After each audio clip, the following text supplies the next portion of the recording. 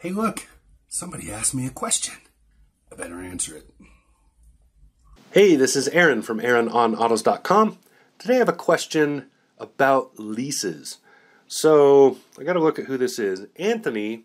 Anthony wants to know why does Toyota offer free maintenance with a lease?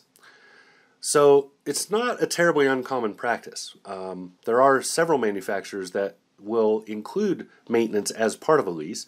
There are many dealerships that also require it. Part of the reason for that is because the the bulk of the value of the car is still there at the end of the lease. When you lease a vehicle, you're literally just paying the depreciation on that vehicle. So you're not actually paying for the vehicle. You're paying for its loss in value over the time that you have it. So, in order to maximize their return and at the same time minimize your losses, so the cost of your lease to you, manufacturers or dealerships will require a maintenance program as part of that lease so that the car is always being maintained at the level it should be, which means it has a much higher resale value. Now, if the maintenance is added as quote free, right?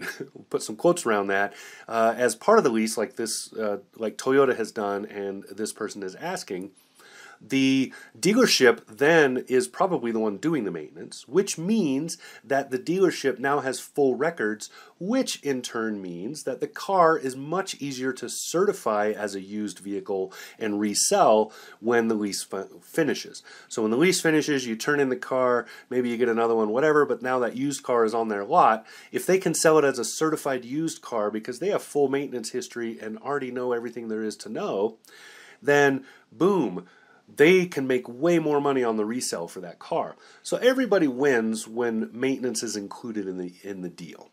Um, you may think that it's costing you more upfront, and it is costing you more on your lease, but it is maximizing the value of your turn in after the end of the lease, which means that in the end you are actually spending less money.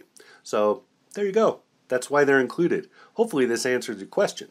Now, if you got a question and you want me to try to help you out, hit me up. You can find me up here on AaronOnAutos.com. You can find me down in the comments below this. You can find me on Facebook, Twitter, etc.